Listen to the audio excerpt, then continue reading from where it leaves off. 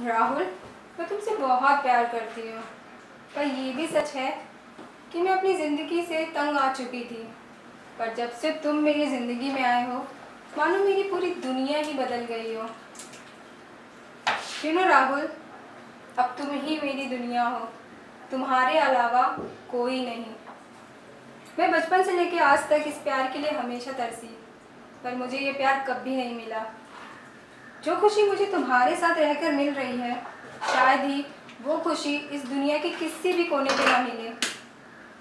So thank you so much Rahul जो तुम मेरी ज़िंदगी में आए हो and I love you Rahul